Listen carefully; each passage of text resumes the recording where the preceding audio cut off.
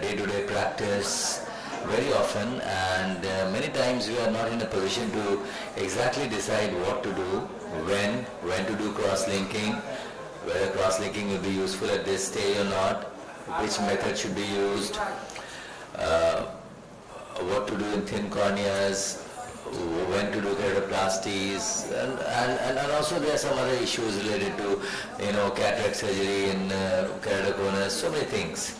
So we thought that uh, we will have a, a presentation as well as discussion, and we would like to have your opinion as well regard, I mean, everyone, we all should learn from each other's experience. So that's the basic idea. And uh, uh, do we have the list with us? Can we have the list, today's list, please? Abhi, this session's list. Anyways, um, I don't need the list. Uh, we have with us uh, Colonel Vijay Sharma. देना um, he is the uh, head of the Department of Ophthalmology in Armed Forces Medical College.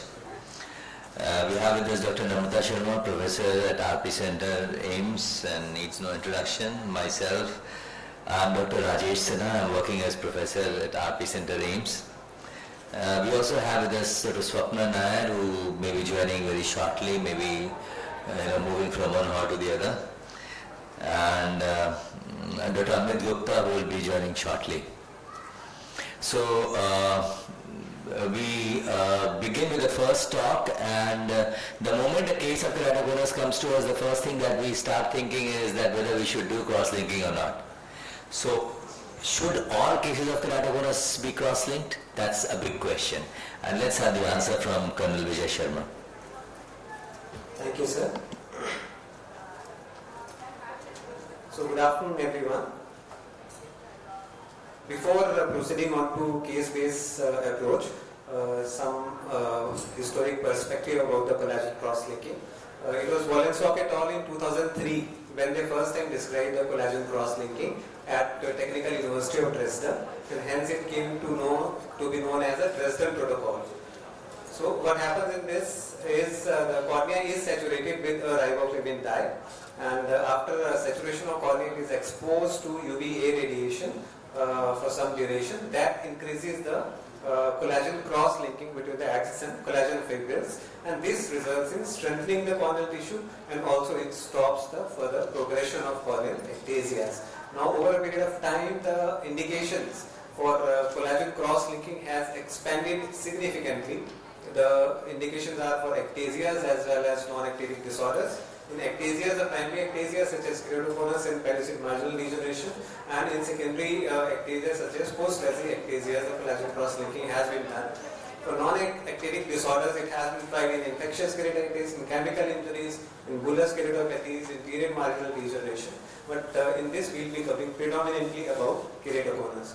Now, uh, in keratoconus, if corneal thickness is more than 400 micron, in those cases, we proceed ahead with the isoosmolar collagen cross-linking.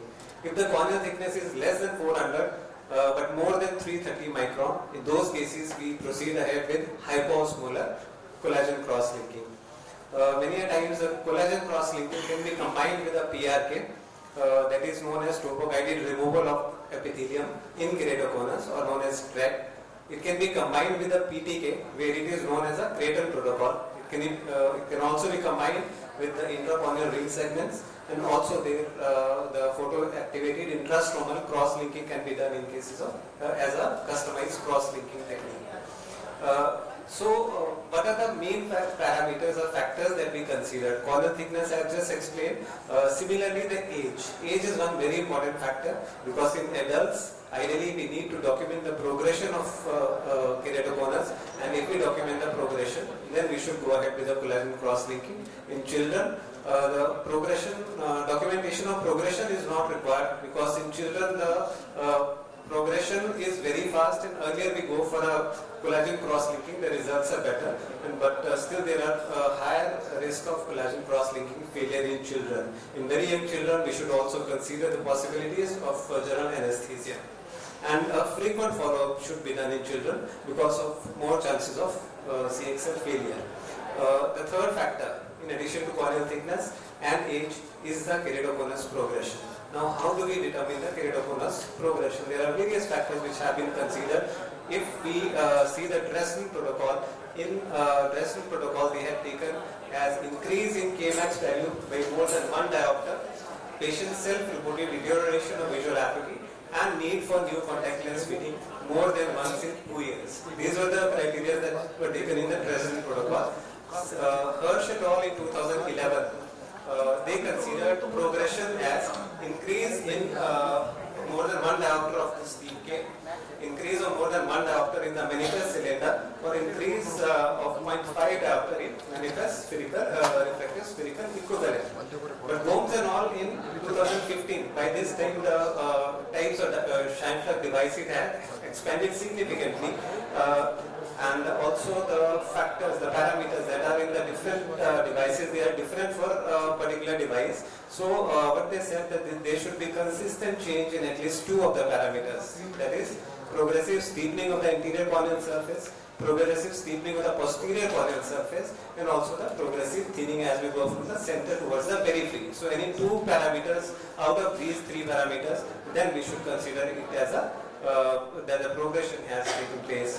They also said that if there is a perceived risk of progression then uh, also the collagen cross-linking can be done without any need for documentation. So uh, various protocols are there, whether it's a conventional, accelerated or iontophoresis. Although these will be covered in detail by uh, Dr. Namrata. Uh, if we see the standard versus accelerated protocol, so various studies have been done, but still uh, the standard protocol or the conventional protocol has been found to be more efficacious compared to accelerated. In accelerated protocols, whether it's a 9 milliwatt per, uh, uh, per centimeter square, 18 milliwatt per centimeter square for 5 minutes or 30 milliwatt per centimeter square for 3 minutes. Out of these, the 9 milliwatt per centimeter square for 10 minutes has been found to be more efficacious compared to the other two.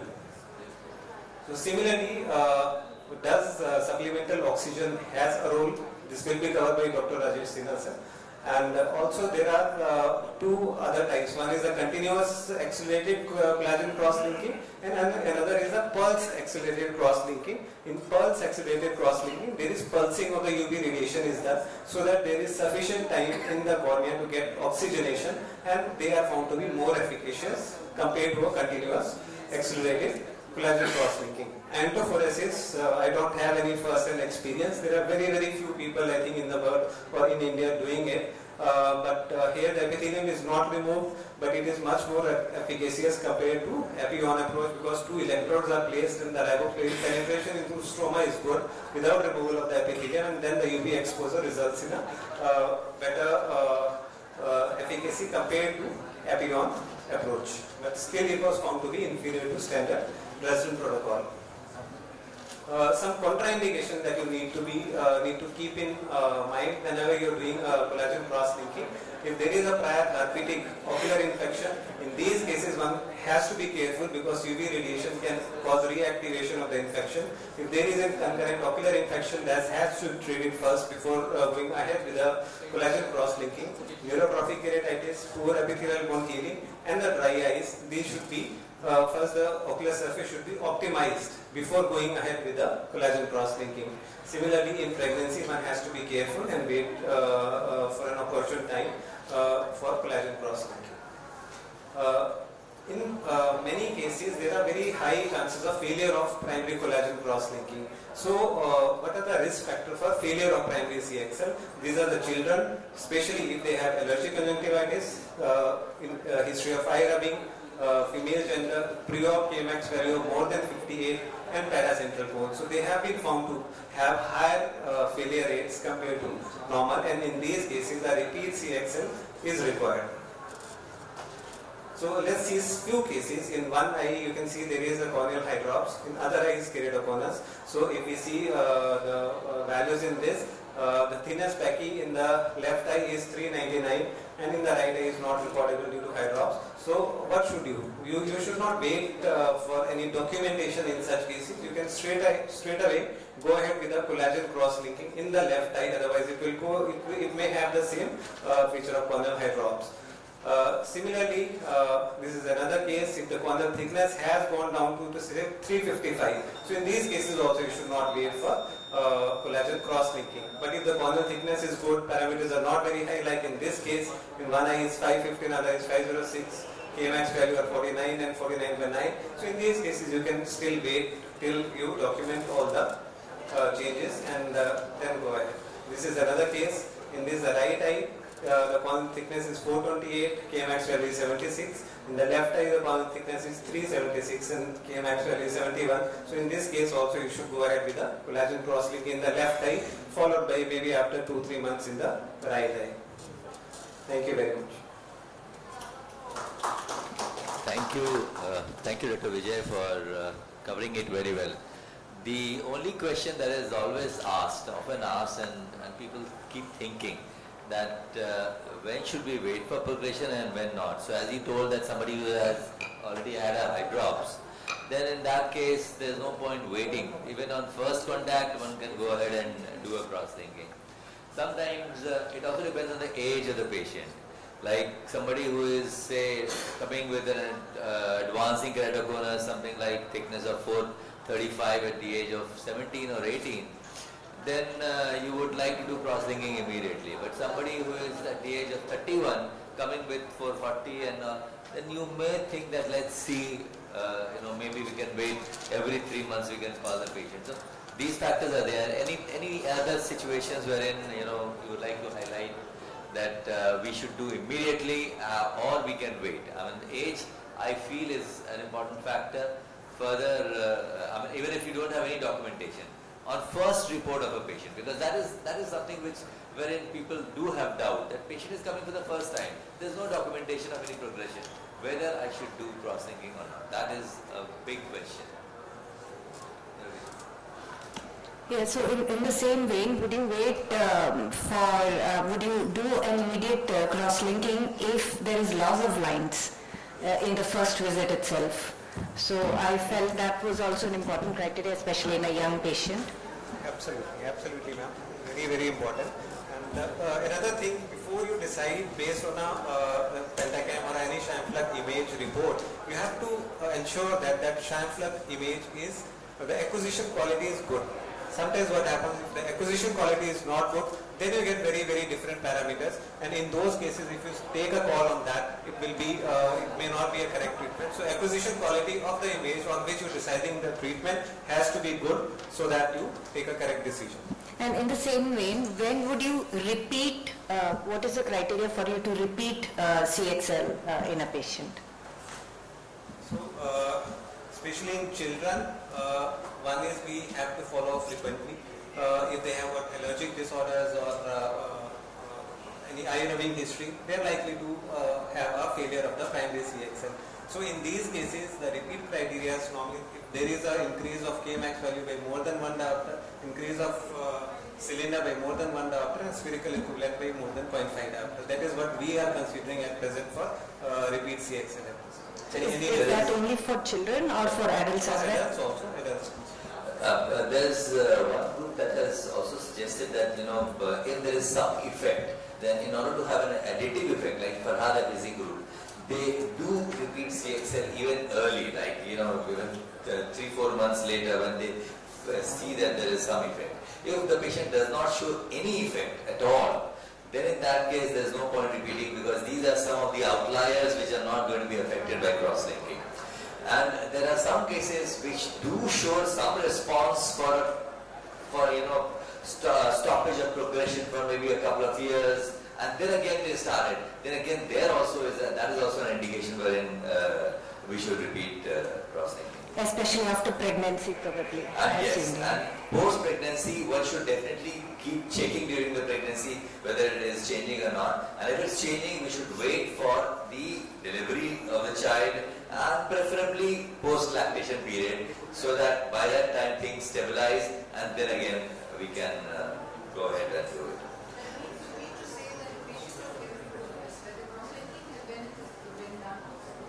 How frequent is, you said frequent, how frequent is that? How frequent is the follow-up?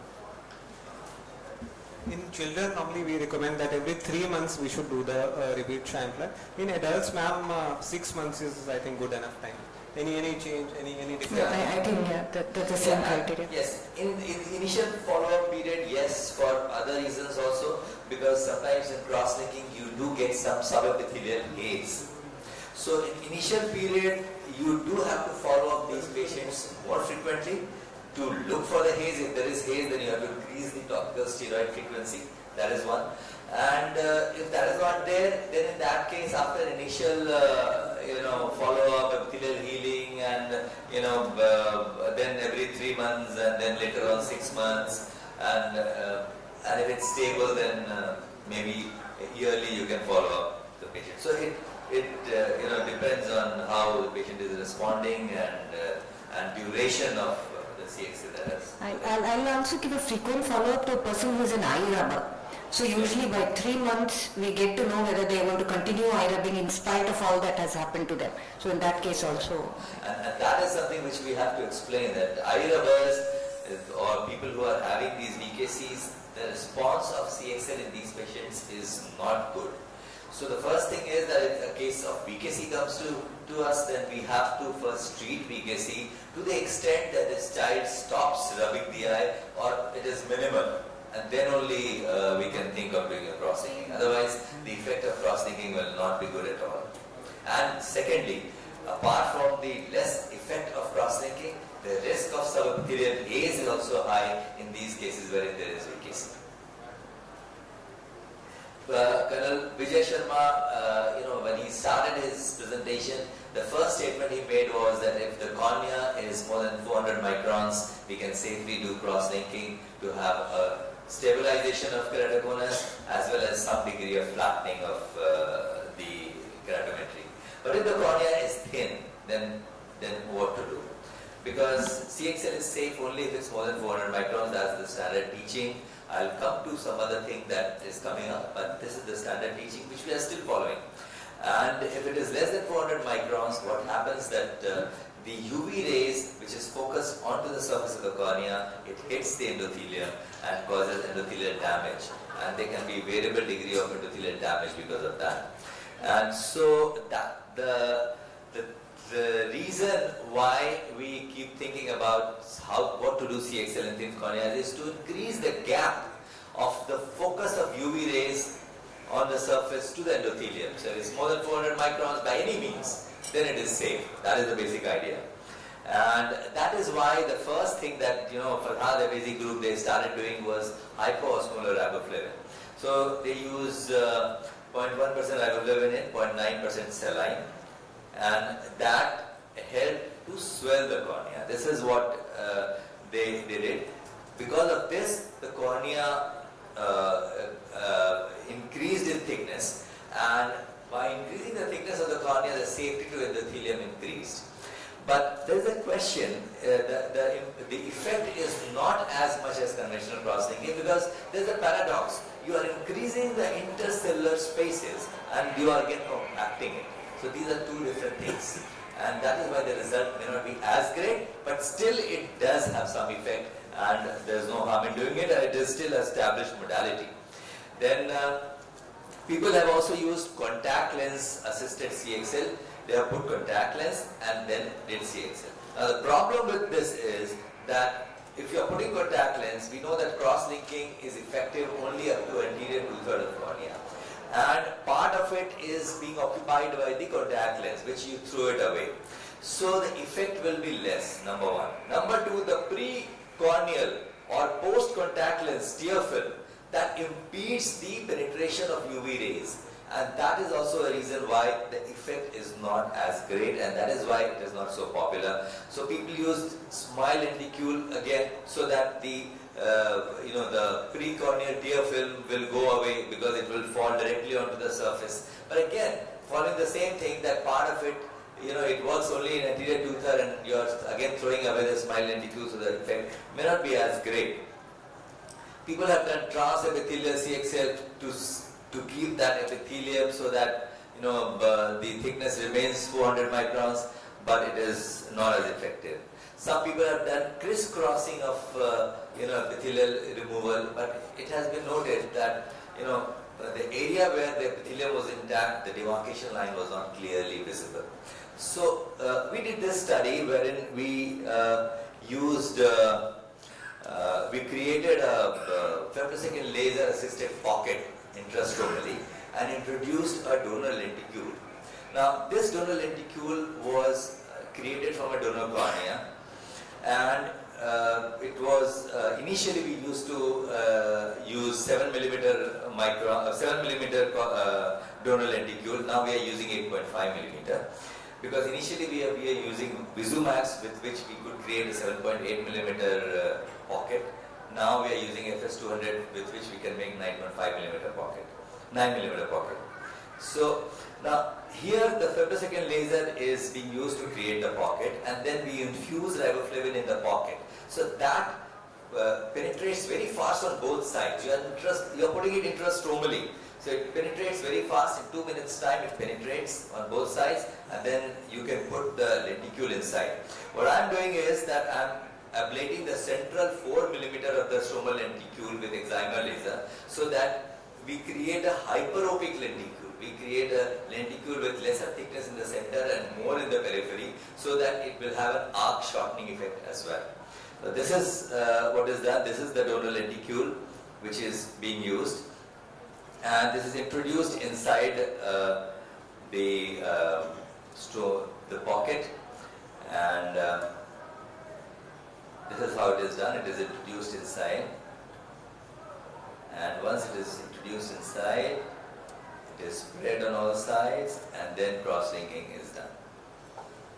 Now, initially on day one, of, of course, the thickness will be high, but with time, the thickness reduces. But somebody who is, uh, we have done it and uh, up to uh, 330 microns, and if we are putting a donor lenticule of 200 microns, and centrally if we ablate 75 microns, so centrally it will be 125. It reduces in thickness and in 6 months time, it is showing about 89, 90, 95 in the center. So if somebody who is having 330 microns of cornea will have 420, 430 and you have done cross-linking as well. So you are increasing the tectonic strength as well as you are stiffening the cornea. The only problem is that you have two interfaces because you are putting a lenticule. So the, there is risk of interface haze. So you have to use topical steroid for a long period and if you use topical steroid for a long period, it uh, looks as clear as this is. And later on, and it is not a refractive procedure, number one, I would just like to mention. Later on, for best visual acuity, you have to give, uh, say, a mini-scleral contact lens. But then this patient may not require a keratoplasty later. And this is how it looks like. Some of the cases which have shown very well the the topography improves significantly, the astigmatism reduces, and uh, uh, all these, uh, some of these cases have shown good response. We have done two such studies, one with 7 uh, millimeter uh, lenticule, one with 8.5. Right now I'm doing an ICMR project on this with 8.5 millimeter uh, lenticule and let's see how it works. Uh, another thing just I would like to mention, uh, this small, because of paucity of time, just moving forward. Uh, another thing that has come up is adaptive fluence. Farhad Hafezi Group has uh, told that if the cornea is thin, use UV rays for shorter period. And they have used it like sub 400 protocol allows for treatment of corneas as thin as 214 microns. So there are a lot of questions on this, a lot of queries on this paper. The query, first query is this that they have not evaluated the specular. They have not done the endothelial count. They have just told that there was no endothelial decompensation and that cannot be a parameter because young individuals, they uh, in those cases, even if there is endothelial cell loss, they have enough of endothelium that there won't be any decompensation. That is one. That is one lacunae. Number two is that if accelerated cross-linking of 30 milliwatt per square for 3 minutes was not as effective as conventional, how can this conventional cross-linking of 3 milliwatt per centimeter square for, you know, for uh, one minute in 214 microns is going to be effective. So there's so many queries in this. So right now it is, uh, uh, you know, these, these, are some of the queries that have been raised. Just uh, half a minute I'll take. Uh, a lot of uh, people, they have uh, you know, uh, they are talking about uh, oxygen concentration in the stroma. And uh, uh, Theo group, they did animal study and they found out that the oxygen concentration in the mid stroma goes down to zero after one minute of UV exposure. And we need singlet oxygen from cross-linking. So if there's no oxygen, how can you get singlet oxygen? So this means you need more oxygen. So put more oxygen. And this is what uh, they used oxygen uh, mask. We created a indigenous uh, uh, mask which was published in the European Journal of Ophthalmology. This is uh, one of the thesis that I've done with one of my candidates. And uh, this, uh, the the mask of Avedro that is extremely expensive. This is this costs uh, 3,000 uh, euros for six masks, and this is only this whole PPE kit will cost only 300 rupees. So that is the difference, and it can be reused, can be sterilized, reused, and it can be attached to uh, anesthesia machine from where you can. Uh, uh, put uh, oxygen and you can measure the oxygen saturation also around the eye with the help of this cannula. And this is the hole that has been made in the goggle and this is the cannula, IV cannula that has been introduced inside to look for the oxygen concentration. And then you put riboflavin and then go ahead and do a cross-linking. This is good, uh, but we thought that we are putting so much of oxygen, the response should be very good, but the response was not as great as we had expected. So probably there is some other factor apart from just the oxygen that is there uh, which governs the effect of cross-linking. And uh, I just wind up now that, uh, you know, cross-linking is an established modality. In thin corneas, we are doing study with intrastromal lenticule, which is showing promise, but maybe uh, after a few years, we'll be in a position to form a nomogram or so, something. Uh, in thin corneas, we have to be really careful. Hypoosmolar does have effect, not as great as uh, conventional, but yes, uh, this is one modality apart from intrastromal lenticule with CXL. These are two modalities that are quite uh, commonly being used otherwise also. When we started doing it five years back, uh, at that time uh, it was not being done, but now there are many people who are presenting on these intrastromal lenticule with cross-linking. So thank you very much and any suggestion and query, and sorry for overshooting my time. Yeah. Yeah, Dr. Rajesh, uh, regarding that oxygen, which was very um, uh, nice to see. Uh, so, uh, how do you ensure that the intra- intrastromal concentration? I mean, is there any form of titration for that, or how yes, do you? Yes. Actually, um, uh, studies, animal studies have shown that if oxygen is being supplied uh, with the rate of 4 liter per minute, then the periocular oxygen saturation is close to 80% and intrastromal oxygen concentration increases up to uh, 37 or 38%. So we use 5 liter per, uh, per minute and the, in, uh, the, the periocular concentration was, uh, average was 84, 85. And so we expected that the oxygen, I mean, we didn't do a uh, we didn't put a cannula in the stroma to look for that because that has been done in animal studies already. So we expected that the oxygen saturation should be about 38, 40 uh, uh, millimeter of uh, yeah. So that will be the par partial pressure or that will be the oxygen saturation uh, concentration in intrastromally. That is what we expected. We expected better results, but the results were not as great as we. The Kmax reduced more than in eyes wherein uh, oxygen was not used. But apart from that, the astigmatism, etc., did not reduce that much. So, I mean, we had a lot of uh, you know euphoria in the mind that we are doing this, and the result will be fantastic. It will be uh, mind blowing, but it was just very marginally above uh, the normal. So maybe there are other factors which we have to maybe study and uh, which dye did you use? Which dye were you using? Uh, no, no, not SPM, the Dextran, Dextran one. Dextran. Yeah, yeah. So we did a similar study. Yeah, and as you have concluded, it doesn't appear to be doing any big wonders. Yeah. No, no, no, no, no. You, you just, uh, put riboflavin first and then put uh, lenticule and then do, no, no, no. okay, you're talking about my study, the intrastromal one. This is, these are not smile lenticules. These are created from donor tissue. Because for 200 microns of uh, you know smile lenticule you require uh, you will have very few patients wherein you will get damage of thickness so we create it from a donor tissue and then ablate the central part to create a hyperopic lenticule so that hoping for an arc shortening effect because the periphery if it's thick and the center is thin there will be some arc shortening effect. So that is what uh, we aim for.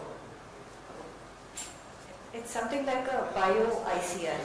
Yeah, uh, that is true. There are many things. People are using CAIRS, people are using, uh, you'll be talking about the ring segments.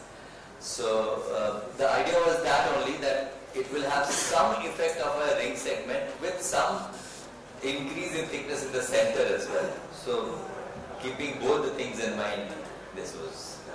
And regarding that oxygen part, I, I have a belief, it's not proven or it's just a hunch, that uh, there must be a particular level beyond which oxygen is of no use even if supplemented. Maybe that's why you don't see great results when you provide oxygen and those who don't have also. Yeah, that's very true. So the idea is this that singlet oxygen is causing covalent bond. So if you increase the singlet oxygen, there will be more covalent bond. But that is not true. That is not true. Thank you, Thank sir. you. Thank you for generating a lot of interest in this topic. Now the next talk is by uh, Dr. Swapna Nair. She will be discussing how does the intracorneal ring segments they help, when to do, what are the types and what are the indications and in which cases they have to be used. To Dr. Swapna Nair. Thank you, Dr. Vijay. Uh, so uh, we all know that myopia correction has two methods. Either you take off tissue from the center or you add tissue to the peg. Now here we'll be talking about ICRS not only as a means of refractive correction but also as a means of product, uh, pro- producing mechanical support to a thin and weak cornea. So uh, we know that the posterior stroma is less compact than the anterior. Now that is where the ICRS goes in and for uh, every di uh, the diameter of the ring it is inversely proportional to the dioptric correction uh, you can achieve and at the same time the thickness of the ring is directly proportional. So if you want to have more of a refractive correction you keep the ring closer to the center of the cornea and if you want to have a more of a, a, refractive correction, you use a thicker ring. So these are the principles on which all intracorneal ring segments are based. So earlier they used to have 360 degree rings which they found were very uh, prone to complications because of which they divided it into segments and that can be customized depending on the shape of the cornea and the uh, extent of keratoconus or the extent of refract- irregular refraction the patient has. So the mechanisms by which the segments act, all of them are by creating space between corneal lamellae. So they act as spacers. They shorten the central arc length.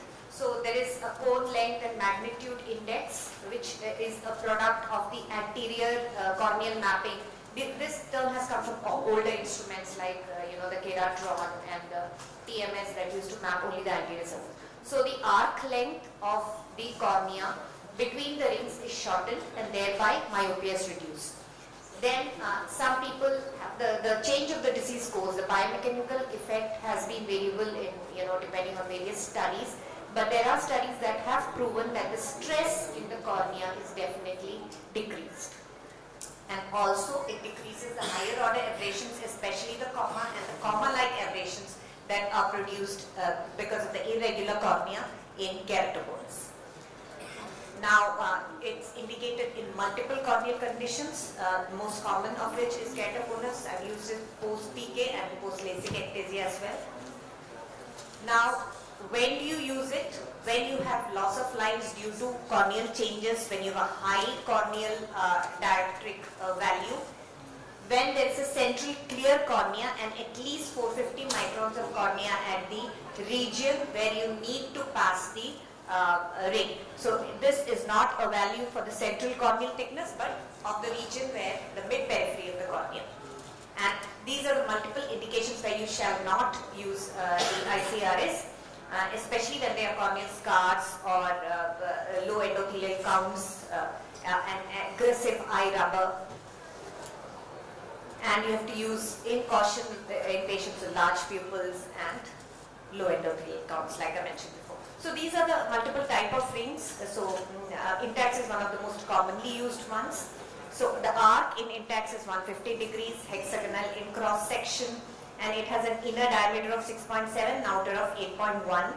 You have uh, those that are used for steeper corneas or for higher uh, amount of keratoconus, where you have uh, inner diameters lesser than the previously mentioned rings. So you're getting closer to the center to correct more of um, uh, refractive error.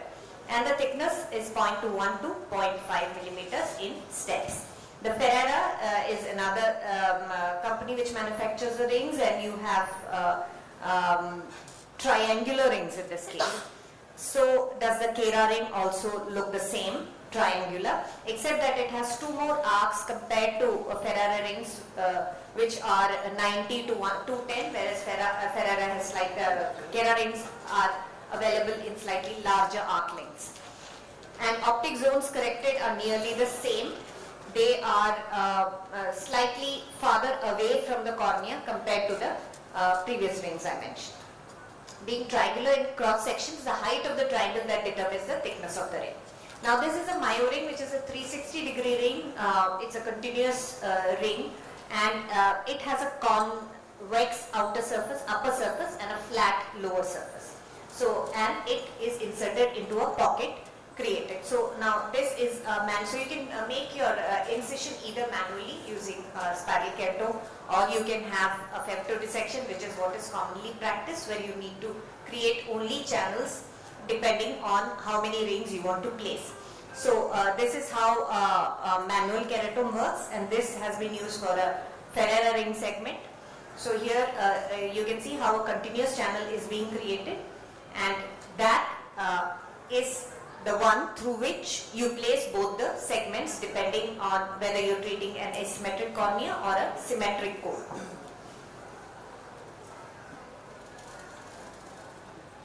Now you can note that in, in, in, these ring segments basically channels that are created which are tightly bound by the cornea.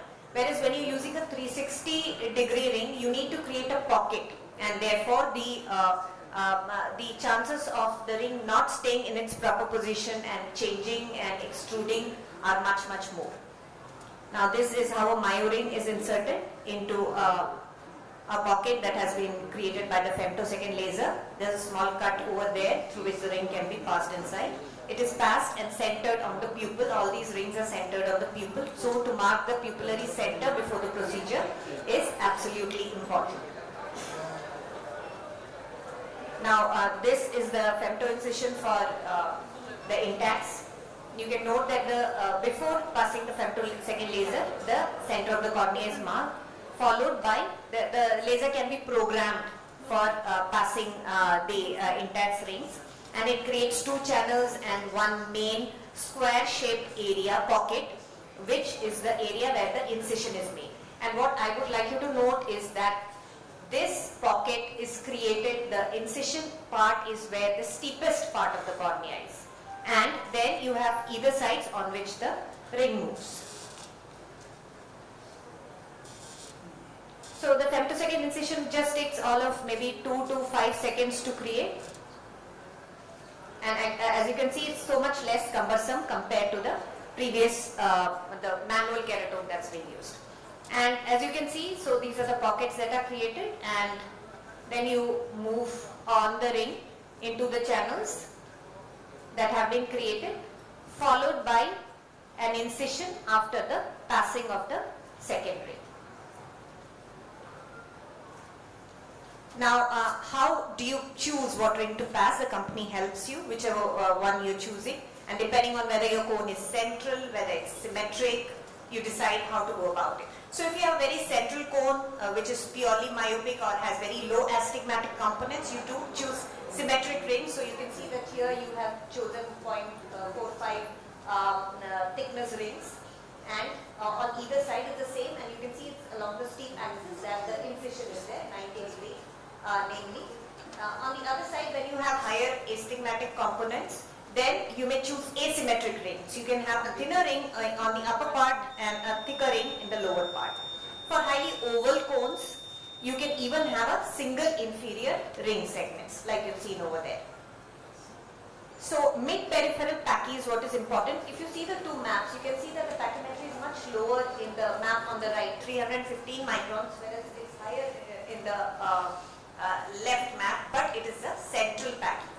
And we are not concerned about the central pachy. We uh, are more concerned about the pachymetry in the mid-periphery, which you can see is much better in the thinner cornea over there. So that is a suitable candidate, the other one is not.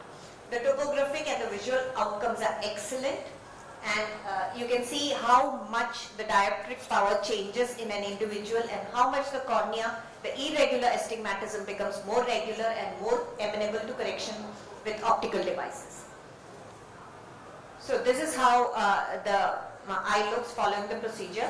Now it can be combined by various modalities. We've already talked about CXL, it can be combined with ICLs following Intacs and Intacs with Excimer is also known. But one of the best methods is to combine it with CXL. Now uh, there is mechanical and refractive correction by Intacs because the end points of the Intacs you see over there provide a traction in the direction of the steep cornea so that it results in flattening. Then uh, it, the, by, by its biomechanical action, CXL on top of this would cause strengthening of the cornea. So the sequence preferred is that you insert the Intacs first followed by the CXL. Though there has been a lot of debate on that at uh, multiple places, but uh, the factors that favor the insertion of the Intacs first is that the dissection is easier and this is followed by a bonded cornea at the end of the procedure. Whereas on the other hand, if you are inserting Intacs into a bonded cornea, then you are weakening a cornea that you have already tried to make strong. Complications are multiple, uh, but not very frequent. Superficial protrusion or AC perforation, then infection. Uh, so there's a lot of literature on that. I'd just like to highlight a few things. Now there are some innocuous white deposits that you see over here. So basically fatty acids. They don't do anything morphologically to the cornea or to the ring or to the vision. So uh, they can be left alone. They're commonly seen. Then ring extrusion is uh, not a good thing. That's that usually happens when you haven't gone into 75 to 80 percent of the depth of the cornea. You can see on fluorescent staining that it is in uh, uh, in connection with uh, the external environment. Neovascularization has been reported uh, because you have created a channel and there is a potential space over there. Now, uh, the histopathology of the cornea has been studied by a group and they have found that it's usually at the inner edge of the ring that most of the pathological changes happen. You can see that is where uh, the cells gather, the macrophages gather and uh, you have slight attenuation of the corneal endothelial cells as well. Now the longest follow-up, follow-up is my last slide. So the longest follow-up has been very recently published uh, in February and they have followed up patients up to 12 years. So up to 5 years they have found that uh, all patients have had a gain in visual acuity, refraction and uh, topography and up to 5 years everyone has been doing well but those they had got to follow up for 12 years they found that a majority of patients are coming back to baseline following Intacs if not done with a supportive procedure like cross-linking. So it greatly changes the quality of life in a patient is better uh, when treated with CXL and it's always reversible. Thank you very much. Thank you. Thank you, Dr. Swapna. It was an excellent presentation. I just have one query. Uh, meanwhile, uh, I'll invite Professor Namrata Sharma for a talk on types of riboflavin and current status of accelerated cross-linking. I just have one query that, you know, you showed about the Ferrara ring and um, some other rings. Uh, I personally don't have experience of Ferrara ring. Uh, I'm a little hesitant in using it because it is put at 4 millimeter zone and I use uh, Intacs uh, more often because it is more peripheral. So do these patients have any problem uh, during evening time or dim illumination or anything? So yeah, that's why the very important, which we get when we do the topography. So very large pupils, very lightly pigmented, it's better to avoid or at least tell them this is what they're getting in exchange.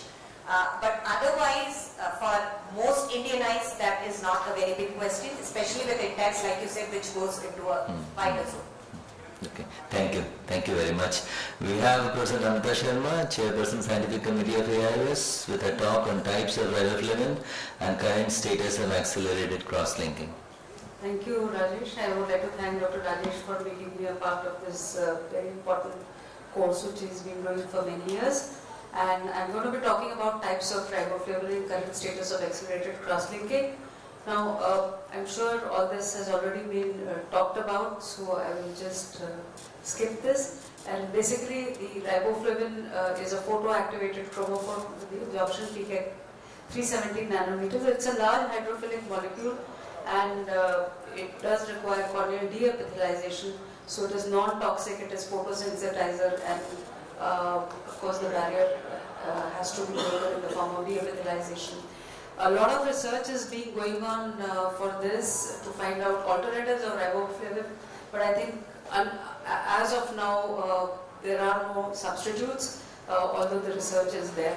So uh, the mechanism of collagen cross-linking is known to all of us and there's increased UVA absorption of the cornea which causes the formation of the new covalent bonds uh, uh, in the presence of the riboflavin and the UV radiation uh, which causes the induction of the collagen cross-links. So if you see the US FDA approved solutions, there are two of them that is riboflavin 5-phosphate and 20% dextran solution uh, and the riboflavin 5-phosphate uh, ophthalmic solution which is mainly for less than 400 microns of the corneal thickness. Uh, this is uh, what is generally available.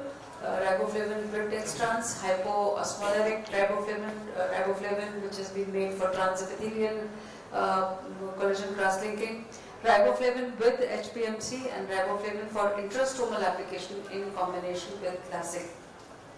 Out of this, only uh, riboflavin with dextran and the hypo, uh, hypoosmolar riboflavin are the ones which are FDA uh, approved. Uh, basically, it is important to understand that the dextran-based riboflavin solutions do have osmotic effect of dextran, which reduces the corneal thickness, and the HPMC-based uh, can be HPMC-based the ones which will not reduce the corneal thickness, and there's increased, increased causes increased diffusion rate and reduced loading time. Uh, this is a study which looked at dextran versus HPMC-based solution difference in the clinical outcomes and transient thinning of the cornea was noted due to 20% dextran which results in a significantly greater depth of postoperative cornea treated with UV light once the dextran thin cornea returns to its uh, preoperative thickness. And this is just to show two examples from Peschke. Of course, I do not have any uh, financial interest in any of uh, this, the isotonic and the hypotonic solution. Uh, generally, uh, the, these uh, solutions are now commercially available and the isoosmolar is the one which is 0.1% prepared by diluting vitamin B2 with 20% dextran and hypoosmolar is the one which is dextran free prepared by 0.5% riboflavin with physiological salt solution 0.1% uh, concentration. Now for transepithelial uh, uh, collagen cross-linking also standard formulations have minimal penetration through the intact corneal epithelium.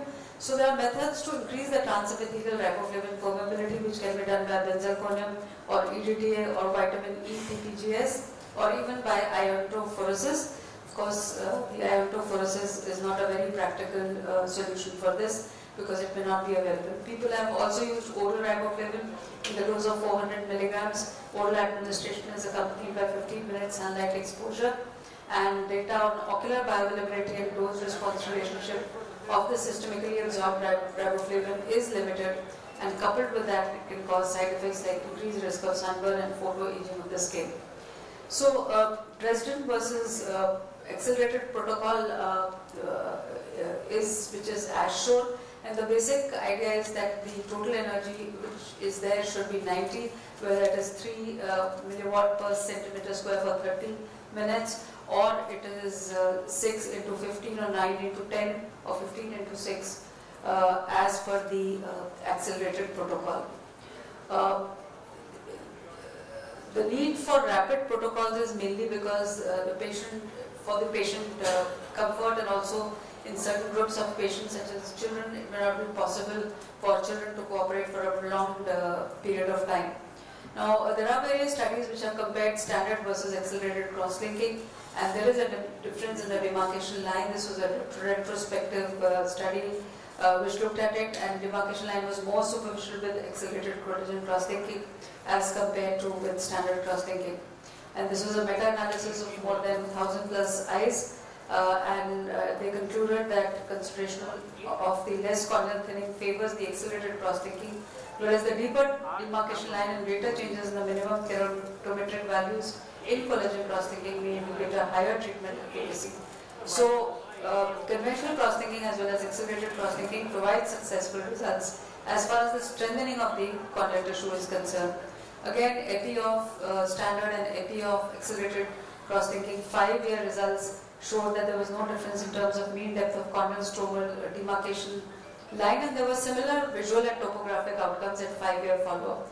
I think in all these uh, cases it is important to have a long-term follow-up studies because we know that the collagen uh, turnover rate is 7 to 8 years. Now, this was accelerated collagen cross-linking in pediatric eyes and again it showed stable keratometry and corneal thickness till 36 months of uh, follow-up. Accelerated cross-linking can be pulsed or continuous normal fluence versus high fluence. It could be pachymetry based uh, which has become the norm now and you can also have photorefractive intrastromal cross-linking as well as the LASIK extra. As far as the high influence, high fluence accelerated cross-linking is concerned, there are minimal changes in the thinnest pre-op areas, but thinning, it reduces the thickness variability the central 6 millimeters and there are uh, thinning is there in the infranasal area. So if you look at this study, which did high fluence accelerated cross-linking, it did show that there is epithelial remodeling after 6 months and improved regularity across central 6 millimeter zone, which is its function. Now this again looked at pulsed versus continuous uh, light accelerated cross-linking with better outcomes in addition to deeper demarcation line which is noted in those eyes which receive the pulse cross-linking. Uh, this is uh, just to show the same and also the confocal pictures of the same. Uh, Again, when the confocal pictures were looked at, it was found that there was deeper apoptosis in demarcation line uh, compared to the uh, uh, conventional accelerated cross-linking in the pulsed, continuous like accelerated cross-linking in the pulsed accelerated cross-linking. this is based on the M nomogram which allows for selection of the treatment protocol to achieve the desired cross-linking depth because that may need to vary depending upon the pachymetry. And uh, this is of course for intrastromal cross-linking where you have a different kind of uh, riboflavin which has to be used. Uh, LASIK extra of course has been done with variable results uh, and uh, uh, I know that some people do claim that the results are very good but I think you require a huge sample size and a very long follow-up to say whether you are actually preventing uh, ectasia after doing LASIK or not. And these are the various clinical studies, all of which say that flattening uh, does occur in these cases.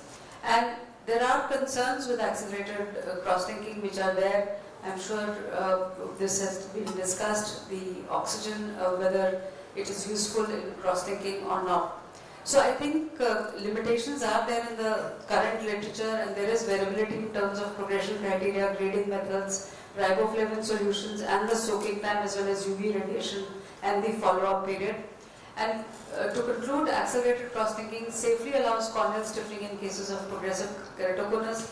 There are variable results reported in different studies and the effects have shown to be nearly similar to the standard cross-linking uh, but short and mid-term results are only available and we really need to look at the uh, long-term results uh, of the same uh, in a longer uh, group, in a larger group of patients, and particularly the high-risk groups such as young children, syndromic associations, which need to be se evaluated separately from the general population. So thank you very much for your kind attention. Thank you, uh, thank you Dr. Namrata for a very nice overview and complete overview I would say on riboflavin and uh, all these uh, newer modalities. Uh, one thing you mentioned, uh, uh, meanwhile I just invite Dr. Amit Gupta, Professor Amit Gupta for his talk on IOL power calculation in eyes with keratoconus which again is a big issue. Cataract and keratoconus, what will you do? How will you calculate the IOL power? That's an important issue. One thing I wanted to know from you that there, there was a couple of reports about oral riboflavin being given and uh, how, how, how do you, how much do you think is the practicality of such a thing in uh, particularly in a country like India? I, know that there are studies which have been done, but Yeah. personally, I would not have any experience. I don't, I don't think it's a viable issue or a, I mean, it's a feasible uh, proposition, although, you know, for the research purposes or for otherwise, I mean, just to see whether it works or not, you can do it. Madam, I have a question for you. Uh, we keep talking about the demarcation line, and uh, it's really doesn't. No, I, I I can answer it now, it, it really doesn't have any value.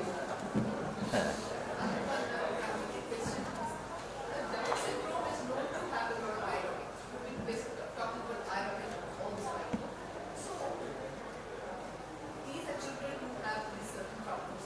How are you going to stop them from coming there? Uh, well, uh, these patients do have VKCs, many of these, and that's why they have eye rubbing. So we have to treat VKC aggressively. Now, some of these VKC patients, they are steroid responders as well.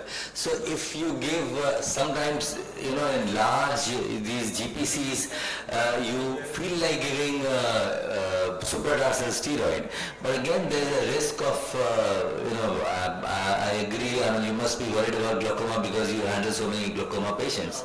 So uh, that's a challenge. But then we have many drugs in our, in our armamentarium, like you know, we can use tacrolimus, we can use uh, you know low potency steroid, which has minimal effect on uh, IOP, and multiple drugs like cyclosporin. Combining all these along with lubricants, um, by which we can control it to a great extent on a long-term basis. We have to look at the compliance of the patient. All these things are there. Anything you would like to add, Dr. Vijay? Only thing is, uh, uh, only way that you can prevent is by treating the symptoms that patient is having now. Now he is having itching, he is having some discomfort. If you're treating with all this, his discomfort will improve and he will, the rubbing will be less. So you have to, you have to treat those uh, symptoms that the child is having. Otherwise, it's difficult. Uh, uh?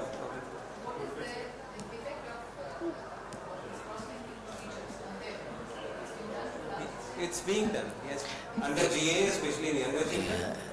It it is done, but uh, after controlling VKC. Because if the child keeps rubbing eyes, the effect of uh, cross-linking is not that good in these cases. And in addition to that, the risk of subepithelial haze is also very high in these cases. Another problem is obtaining a good Scheimpflug imaging in these children because they are not cooperative. Yeah. It's, it's very, very difficult Yeah. to obtain a good image. Yeah, that, that's a practical issue. That's, yeah. So let's have uh, Professor Amit Gupta on IL power calculation in keratoconus. Uh, well, thank you, Dr. Rajesh, for the for including me in this very important instruction course. So, uh, this is uh, such a topic that there, it has so many limitations when we consider cataract surgery. We have a patient of keratoconus, he has decreased vision. We are first not sure how much is due to the cornea and how much is due to the lens. And what is uh, our practice is to probably fit a RGP lens and reassess the vision. And in case the patient is improving, it means that probably it is a corneal uh, thing which is mattering more. If not, we can be more aggressive with the cataract surgery. Also, there are so many other challenges. You know, we know that the slope of the cornea, the apex of the cornea has shifted in keratoconus and this leads to uh, problems with the IOL power calculation, which IOL formula to use and also the amount of astigmatism is so high and uh, irregular that there can be errors uh, in these patients. So essentially we are dealing with the multifocal cornea, the slope of the cornea has changed and that makes it so much more challenging. If you go down to the basics of biometry, it is the, what matters is the net corneal power, the axial length, and the effective lens position. Most important determinants uh, when we have to find the IOL power. And in keratoconus, having an apex which is off center, and also having a cornea with the power which is off center, it can lead to overestimation of the corneal power because of the steep cornea that is there, and that leads to the problem of hyperopia in these patients after cataract surgery. Also, another thing is that there is, uh, excuse me, at the back, please? There is also a change in the ratio of the corneal thickness and also the anterior chamber, also the axial length. Many of these keratoconus patients are myope and uh, that also leads to the challenge of the biometry in these patients. So what happens to the K readings? The K readings become steeper in keratoconus, the corneal power will be more and therefore the biometry will assume that this high corneal power applies to the whole of the cornea. It will overestimate the corneal power and lead to a hyperopic shift in these patients uh, at the end. Um, so this is one of the publications, I'm just summing, summing it up for you. What they concluded was that in mild to moderate keratoconus, the results of cataract surgery are much, much better. But once we reach advanced keratoconus, there is a huge tendency to have a hyperopic result. And what they did, what they recommended is they used the total corneal refractive power. And when they used that, they noted that there was a very slight myopic shift which occurred after surgery. So that is what they, they recommended that okay, we can use a total corneal refractive power. Another study in advanced keratoconus patients, what they said is that instead of uh, using the K power which comes through either biometry or pentacam, they said we should apply a standardized K reading of 43.25 diopters. And in this uh, study of uh, about 92 eyes, they found that that hyperopic shift didn't occur and they had uh, uh, results which are very reasonable in advanced keratoconus, only advanced keratoconus. Another study by Watson also suggested using the standard K values. We can discuss later on how many of us would like to use standard K values for severe keratoconus, but for ac actual values should be used in mild to moderate keratoconus. The role of pentacam is, is uh, uh, very critical in planning these patients, especially the maps like an equivalent K reading map. So it, uh, it can help us to overcome the problem of that off-centered corneal apex and we can choose the centration apex versus pupil. And uh, equivalent K reading map I think is very reliable because it focuses on the center of the cornea, balances the irregularities of the cornea and uh, therefore it can give rise to a more accurate reading. So this is an example of a EKR report and we can, we can see the distribution of the keratometric values. We can also change the, the diameter of the mean K values or the EKR 65 and then reach a conclusion which kind of K reading we want to use. Now which formula to use? There's a huge variety of uh, formulas that are available with us and uh, you know there are multiple studies. SRKT has come out to be the winner in almost each and every one of these uh, studies that SRKT formula gives uh, the most accurate. It need, need not be the most accurate for categories, but it, out of all the formulas, it was the most accurate. And also that another study which showed that SRKT uh, formula was very uh, was most accurate. But now we talk about the Kane formula. So in this is the initial publication by Kane, where they showed that this was more accurate than the SRKT, and SRKT was the most accurate formula out of the traditional formulas that were used. How do you access the Kane formula? It is available on iolformula.com. And this uses a modified corneal power derived from anterior corneal radii of curvature and represents the true anterior posterior ratio in keratoconic eyes while minimizing the effect of corneal power on effective lens position. So this is this is a, a correction which is so Kane formula and Kane keratoconus formula is available there at that site and you can use. So it uses axial length, keratometry, antechamber depth, lens thickness, central corneal thickness and optionally the gender of the patient. What Kane did was he divided the patients according to keratometry. Now we know that many of the keratoconus patients are more severe, but for him a stage 3 was more than 53 tablets. I think maybe we have to alter uh, that according to our own experience. But what he did was he added a corrective factor. So for stage 1 no adjustment, for stage 2 0.75 to minus 1 and up to minus 2 to minus 3 degrees of uh, corrective factors, uh, the, the the predicted refraction you feed into when you decide the IOL power. And he showed that uh, although the results of SRKT were also very good, but the, the percentage of eyes which were more uh, than two diopters were the least with the Kane formula. What about toric IOLs? Just one slide I have made in this. Mild to moderate keratoconus works very well. In non-progressive disease, make sure the patient that are not dependent on RGP lenses for good, uh, achieving good visual acuity because they you can never it. They're used to wearing these contact lenses. They'll wear it after surgery also. So no point in putting a toric lens for that. So uh, the uh, and it will uncover the toricity of the of the lens uh, of the IOL in case they are putting a RGP lens on top. Also, there should be a good history of corrected vision uh, with spectacles only, and uh, there should not be a high irregular astigmatism. Just uh, this one chart to sum it up. And so, if what they have advised is what I have just said, that we should see the repeatable biometric measurements, and in case of uh, severe keratoconus, in this case more than 55 diopters, uh, of course place a spherical or mono and monofocal IOL and do not place a toric lens. And we can consider using a standard K value for IOL calculation a target of, of low myopia, right? Because of, we are already correct, correcting by using a lesser K reading. So you can't use that K formula of minus 3 diopters of predicted uh, refraction. You can't use that here. And of course, we have to pay attention to the axilla. Many of these patients are myopes, and if in white to white, uh, also the patient should be uh, taken care of. So, mild to moderate keratoconus, we are reasonably okay with it. In the end, just a few surgical tips because the surgery can differs. You get a lot of distortions of the eye. Like some of these eyes can have rephases, so it becomes challenging, and we should preferably have a standard temporal corneal approach. The thin cornea, in case of globus, you will have problem. Don't be scared of suturing. Consult the patient before and that I might be putting in a suture in case I'm not able to see the bones. You can use a modified scleral incision also, and also um, you can put viscoelastic on top repeatedly to have a better kind of visualization and have a focus on the capsular surface to avoid distortions. So uh, take home message right now, uh, if you do have the inclination, try to use the Kane formula. That would probably the, the best, more most accurate. It has been shown to have the minimum uh, mean prediction error in a large series of patients, which was published in ophthalmology.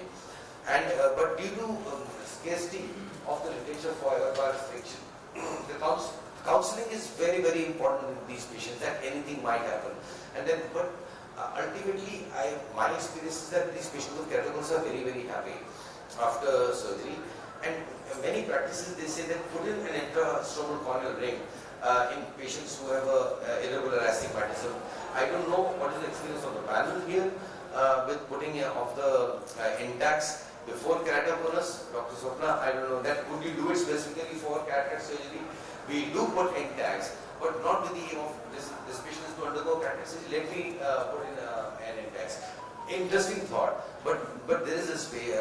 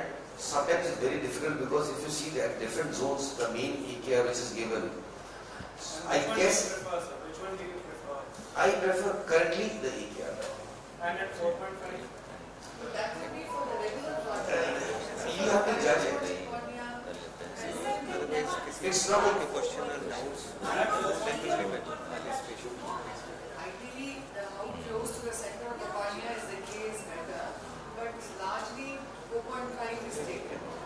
No, having a very large area is not a very good idea.